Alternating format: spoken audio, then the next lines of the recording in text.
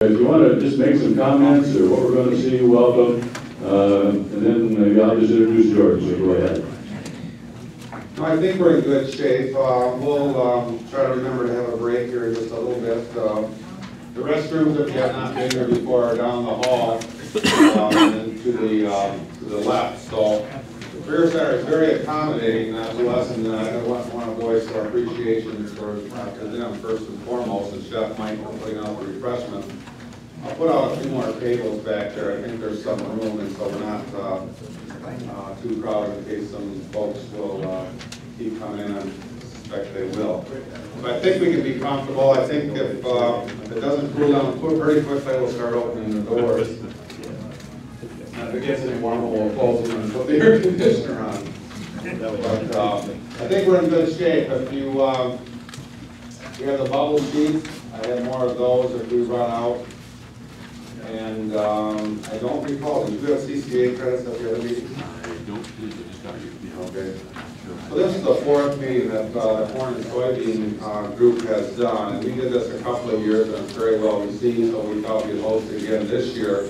And so it works out extremely well. They pick up the uh, tab for the room and and for lunches and keep things uh, very easy for all of us, so we really appreciate that. So other than that, George, nothing else uh, comes to mind? Sorry, George. Uh, Okay, Martin, uh, but you know, these type of meetings uh, are easy to come to and set, and by the way, uh, the question was asked of me, because I see several that come to another meeting, and the question was asked of me, at the agenda, this is different, I'm sure, than any meeting you've gone to, because the one meeting we had was down at Cabela's, I don't know if anybody went to Cabela's, if you did, it's a reiteration of that, and we did have a meeting in Frankenmuth that was somewhat similar to this one, this going to be different than most likely that you set in on. What I want to do though is thank Martin, because it's easy to come to these meetings, not particularly easy to pay the bill, but uh, someone has to organize, someone has to get the invitation, someone has to take their reservation, someone has to get the meal, and that comes through Martin in his office, so we appreciate that. To begin this morning, uh, we're going to have Dr. George Bird. Many of you have seen George before. We worked with George, gosh, I'm going to be wrong here, George, but since the early to mid-nineties uh, with systemic for soybeans has been a problem. And I'm not sure you've solved it yet, George, but uh, you've tried. And you've given us a lot of information. And one of the projects this morning, I think you'll find of interest. So, Dr. George Bird. didn't get one, there's some more outside on the table. Uh, This little booklet on the soybean cyst nematode. And soybean cyst nematode's been around Michigan now for a while. I don't know how many times I've been in this meeting room, maybe at least five. Every time I I come, I I see uh, more faces that I recognize. This morning, at at one time when I was handing these out, somebody said, there's the guy we're going to have to see at break because uh, we have soil tested and uh, we have some, uh, some, some nematodes. So I'm going to do two things today. Uh, I'm going to talk to you about a survey that was funded with your checkoff dollars and how that relates to you in this part of Michigan. And then secondly, I'm going to talk to you about seed treatments. And uh, all of you have been dealing with seed treatments uh, uh, with uh, insects and with uh, fungi. This is probably the first time you're going to hear about seed treatments uh, from a nematology standpoint. But I'm going to push this button here, I don't know if I have the right one or not. It, it did absolutely nothing, okay? Uh, So what we'll do is, uh, uh, we'll try this arrow here. That arrow seemed to work, but it went twice, okay? So I'm, I'm in good shape here, no problem. I'll use that just the way it is. What, what do we have here, and is there any possibility we could get this front set of lights uh, down? These are working me hard. Okay, I got it, okay? Good, well, I'm glad I got that early this morning. Okay? Okay? I got another good hour left. Uh, Got a soybean root there, okay? And what are all those little white dots on? Every one of those little white dots is a female of the cyst nematode. And uh, when she's mature, and fertilized, there'll be about 250 eggs in each of those females. And when she dies, her body turns into a protective cyst, and those eggs can survive in that cyst for 8, 10, or 12 years in the absence of a host or food. Now, how many of you've got one of those good sticky points in front of you when it comes to food um, already this morning? So I just wanted to show you that. And then when I put those under the microscope and blow them up a, a little bit, uh, the females look like this here on, on the root system. And so just to remind you again, the, the two take-home messages I'm going to give you uh, this morning are basically the survey and then the seed treatment. In and for long, long time, I've made my living as a university professor, so I can stand up here and uh, le- lecture to you or okay? Um, You know, maybe I shouldn't have come in. Um, Lecture to you or uh, but anytime I say something you've got a question about, raise your hand and I'll take it. And boy, yesterday morning I got a question from over there that kind of got me going for a while, where I almost had to cut myself off. You have to watch your questions, an hour later, he had that question answered, so you gotta watch your Yeah, it was a professorial answer yesterday morning, so let, let's go on. okay? Well, we- see we've got a map of Michigan here, minus the uh, Upper Peninsula at the moment. And there's two things I want you to look at on this map, count- county names and dates, okay? And also sort of uh, the color. And uh, if we look here at uh, Gratiot County, right in the center of the state, the 1987 means that soybean cyst nematode was found there, uh, the first find in the state in 1987. I'll give the grower's first name at Joe's, okay? And um, 1987, at least in this part of the state, we had a big flood the fall before, 86. And uh, I was invited out, out there one morning, and I asked Joe, I said, uh, what was your losses due to this problem last year? Joe said hundred percent. I said, hundred percent? Uh, how do you define that? He said, well, I planted beans, I gave them tender loving care, and I didn't bother to take the combine into the field. That's not a bad definition of hundred percent. Second thing that I asked Joe is I said, uh, about how many years have you been raising beans continually in this field? Joe thought for a couple minutes, and then he said, well, you know, about 25. So that's another point I want to make. Crop rotation, okay, uh, can really help reduce risk to your 60-plus bushel fields. And also, once you have the problem, it can help from making it get worse. Then, second find, and the person who found it was with us yesterday, down here in Van Buren County, 1988. And I, I know how that field was infested. Uh, that grower was really a vegetable grower, and the soybeans were sort of his rotation crop. And we went out in that 40 acre field, there must have been 20 circles of the nematode. And each one of those circles, I bet you, is where they emptied out, okay, the tomato transplant box. And the nematodes came in there, I'm pretty sure from South Georgia.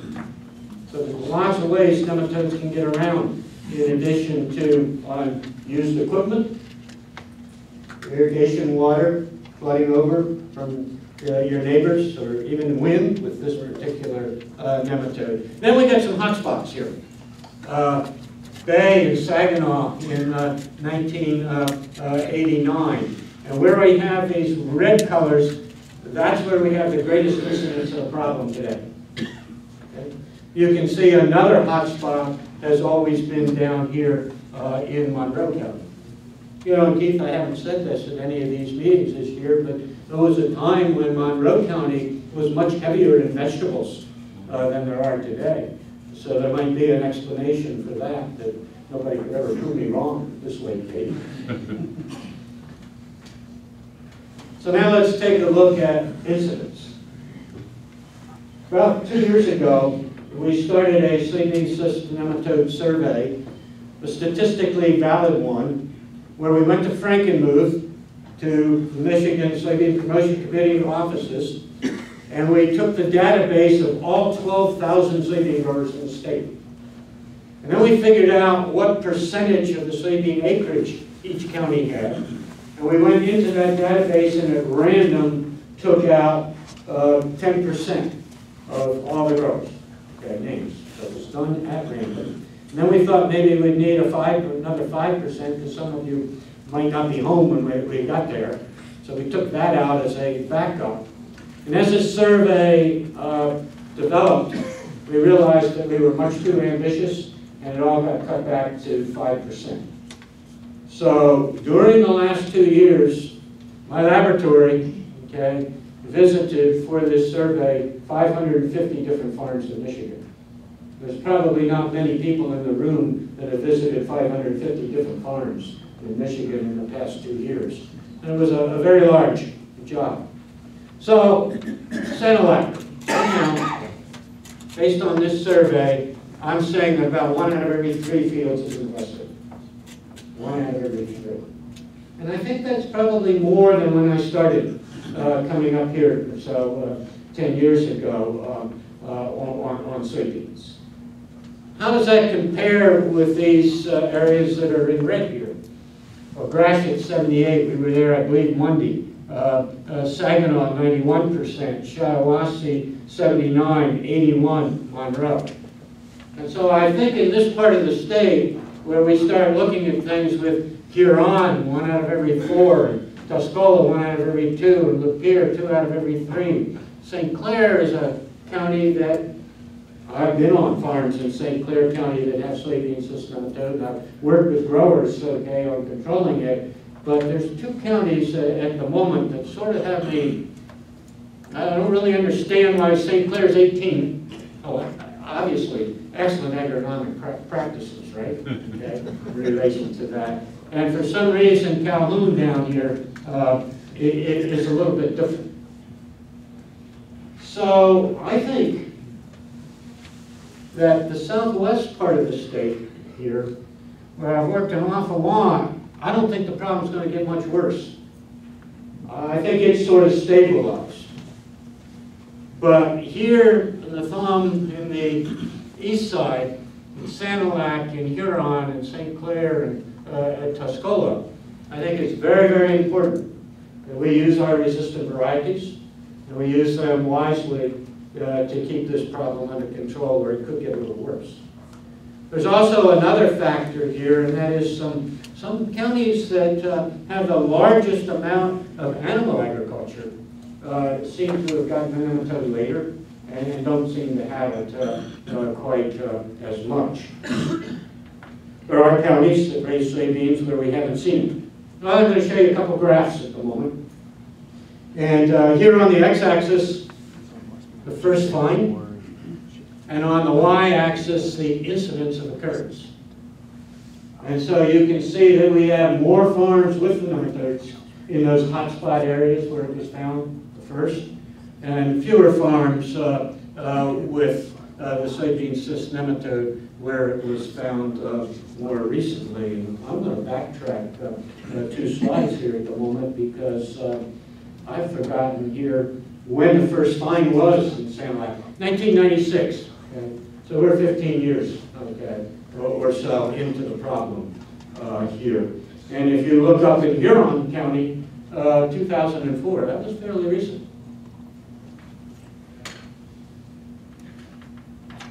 One more of these graphs, and that's basically the planted acreage.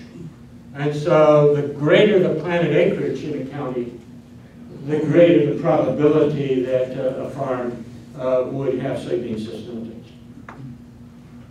Questions? Okay. Yes, sir. Will your uh, soybean cyst nematode affect corn and sugar? Soybean cyst nematode will not affect corn. What about sugar beets? Okay, soybean cyst nematode and sugar, and beet cyst nematode are close cousins, but they are different, okay? And we now have resistant varieties for, for beets, and uh, we've been able to greatly increase tonnage there, okay, with that. But they're, they're different, but with the, those two, they're, they're close enough, so Once in a while, in a couple fields in Michigan, we found some close cousins that have mated that weren't supposed to, okay? And so we- we're still looking into that. But if you go to all the scientific literature, uh, they're, they're two separate ones that won't affect the opposite. Okay? But Lots of different nematodes, but I don't have time for that uh, this morning. Let's get into the seed treatments. For many, many years now, I think we've had seed treatments for uh, fungus control. And for a long time now, we've had seed treatments for insect control. But the nematode business is brand new. And it's something you're going to be hearing more about. And there are four potential seed treatments I want to talk to you about this morning. Avicta, Votivo, Pasteuria, and Harpin proteins. And I think in addition to at least having heard those names, I want you to sort of think, you know, there can be chemicals, and there can be biologicals, and the chemicals will work as pesticides, and there can be biologicals. And then there's another one I'm going to talk to you about that actually induces natural defenses in the plant. Let's look at the first one at the moment. The first one is Avicta, and it's Avicta Complete Corn. And Avicta has on it a- an insecticide and a bunch of fungicides, you know, lots of stuff gets stacked on that seed that you buy these days. And then the the nematicide is Avicta.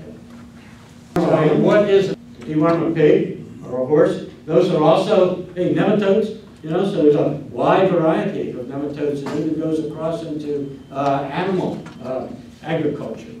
Originally, this chemical was discovered from a bacterium, very specialized bacterium called an actinomycete. Now, all of you should know, I hope, maybe not, that actinomycetes are what give us all of our antibiotics. All of our antibiotics come from actinomycetes. And in addition to that, in the soil, actinomycetes are what give you that healthy, characteristic earthy odor of the soil. And then the companies that developed them, they got a, a synthetic chemical basically from that, uh, that they market as, uh, as uh, Avicta. Now, Avicta is registered on both corn and soybeans. It's readily available to all your seed dealers as Avicta Complete Corn. Uh, in 2012, it is not readily available in Michigan on soybeans, but can be gotten on soybeans by special request. Uh, it is duly labeled, okay, uh, by EPA. Uh, it's a chemical. It functions as a nematicide and basically kills the, the, the nematode. And I've worked with it both in the field and in the greenhouse. And uh, I was a little skeptical in the, uh, whether, are tough. I was a little skeptical, but with this product, I've gotten some um, pretty good response. Another thing I want to say right now before uh, uh, I might forget it at the end. The companies for all these seed treatments, they're not marketing them as standalones. They're putting them on the resistant varieties and not the susceptible varieties. So basically, like if you're getting a 10 bushel soybean uh, uh, yield increase with the resistant variety, then this is designed to give you another two or three on top of that. At one of our early meetings this year, uh, well, let me go on to the next one before I make this comment. The second one is Votivo. And if I didn't say that, uh, uh, Avicta is a Syngenta product. Uh, Votivo is a Bayer product. And one of the growers at one of our early meetings says, George, well, how much extra does that cost me for a unit? And I didn't know. I said I do not know. And one of the farmers raised his hand and came to my ed- aid and said, about five bucks a unit more, okay? And um, since then, I've checked that out with some of the seed companies, and, you know, there's a range in relation to uh, uh, the cost, but that, that's relatively correct. Votivo Bayer seed treatment, this is a living organism. It's a bacterium. It's Bacillus firmus. And Bacillus firmus is marketed as Poncho Votivo. Uh, it's available in Michigan this year uh, uh, on both corn and soybeans.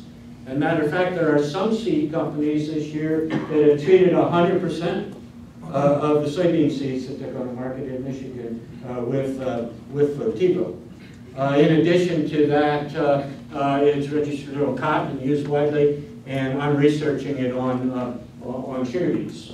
So these two pictures here, the one on the left, I grew this root system in the complete absence of all living organisms.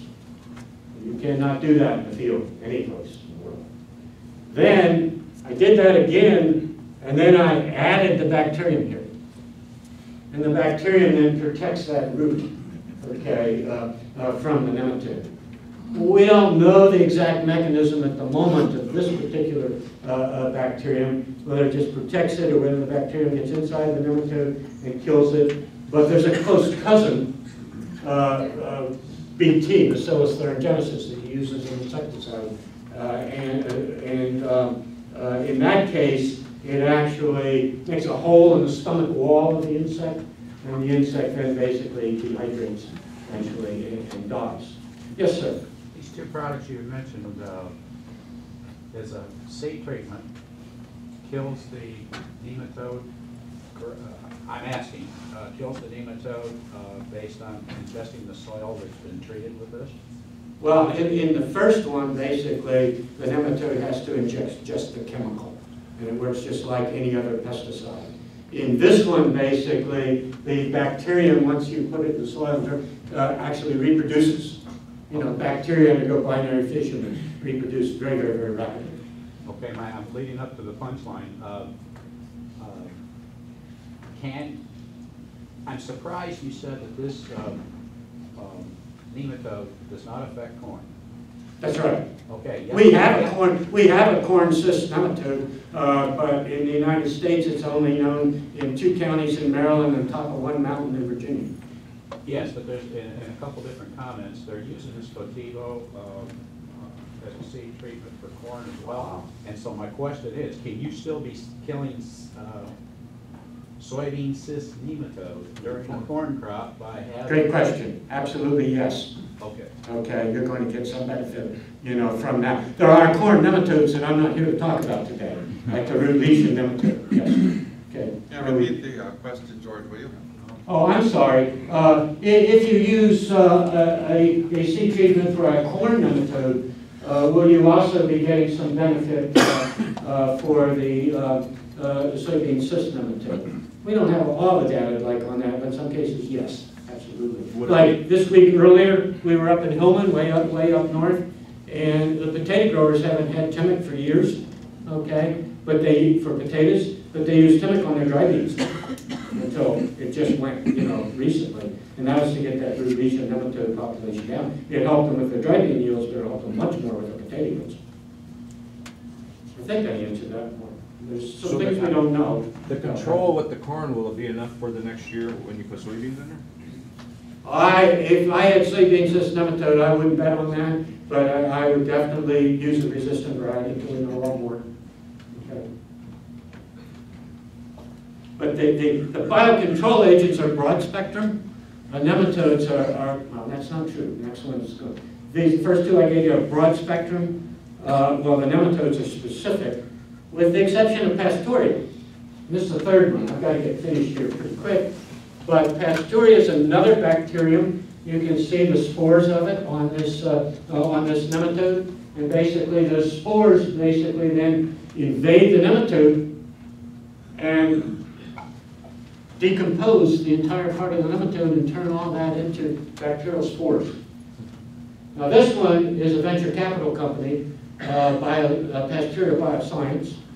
Um, You could probably buy it today if you wanted to, the company. Uh, But I think it has a lot of potential, but you're going to have to use one species of this bacterium for soybean cyst nematode, and a different one for sugar beet cyst nematode, and a different one for where it's registered at the moment, the sting nematode on turf, or the cotton reniform nematode. This one is under research at the moment for us on beans and beets, and I'm working on that. Of fact, I was with the, on the, from with the company just yesterday. Third one, last one, harpin proteins. And the harpin proteins are a class of proteins that induce plant defenses. It's a very, very different mechanism of resistance. And what you're going to hear about during the next five years is that these are called plant health regulators. And uh, proteins have been developed uh, as N-Hibit or messenger. This year, you can get them from a company called Plant Health Care. They also came from a bacterium, Erwinia amylovora. And that particular bacterium is what causes fire blight, okay, of apples and pears down in southwest Michigan and up the Willamette Peninsula. And so basically, there's all kinds of chemical reactions here that get into the nucleus and stimuli, stimulate the right genes to be turned on to come out and then protect the plant. We've got a lot more to be learned about that. So in conclusion this morning, oops, don't have time to do that, I went too long. But let me, let me show you real quickly some results with a susceptible variety. Uh, I got 16 bushels per acre. When I use the right resistant variety, 50 bushels per acre. When I use the wrong resistant variety, 10 bushels late. late. Okay? Then with one seed treatment here, uh, we were able to, and this seed treatment was on the 88788, we got another three bushels. I'm going to have to So I think uh, the future for soybean cyst nematode control with seed treatments is, is bright. Uh, we have four of them that we're working on, and two of those are, are available at the moment, but much remains to be learned. And uh, hopefully, um, uh, this uh, next picture here will uh, stimulate the Spartans to do a little bit better, okay, uh, uh, against the University of Michigan on Sunday than they did the other night. Marty, do I have time for one or two more questions? Yeah, question or two, yeah. Hear all those questions? off? I had some good ones while we were going on. Yes, sir. What's the thoughts on mixing the nematode varieties like sugar beets or soybeans with non-nematode? If you mix two varieties together in a planter and just plant them? Okay, Good or bad? you're talking about a multi-variety field. Right. I, I have done that, and basically the theory behind it is you can build, if you use one source of resistance for too long, the, the, the tough nematodes are gonna survive. So if you have a small portion, okay, of seed out there that's susceptible, you're always gonna have some wimps out there. Maybe I didn't come across that way, you know. Remember, you, you've been, people have talked to you about for years that you can overuse resistance varieties, and some of the real tough guys, okay, uh, survive, and they mate with the tough gals, and then their offspring basically are the nematodes that can overcome that resistance. So I've had some research for years where uh, I've mixed varieties, and if I put a little susceptible, let me, I'm not gonna go into mechanism, what I'm gonna tell you is, where I've used multivars, I've always gotten the highest yields. That gives some of the seed companies heartburn when I say that. Does all these treatments become liquid or can you get them dry? You will not be putting on these uh, treatments, they will come to you on the seed, okay? They will be put on by your seed dealer. Okay. You won't be able to purchase We this? bought this year already. You know, then we can't do nothing, right? Not this year, okay? you know. What's that? It might be on, check it, It might be on, check it, yeah. Uh, In, I think think that's all I want to say. Yes, sir? Last question, we gotta get rolling. Just, how long does that control last? Is, because if you're talking on the seed, does it kind of, Well, the better, the, uh, the the seed treatment, this is not gonna last more than one year, to be frank. Okay? It's gonna lower the load rate. control right through till harvest, or does it? Oh, yeah, it, it's the initial, you, the nematodes that escape are going to build up, but it's the resistant varieties that are gonna get your population very, very low. And I've got the population low enough in a couple of research trials, so I could come back for one year with a susceptible, but then the population goes up. I'll take, I'll be here during the break and take questions. Marty, why don't you go on out there, we'll, uh,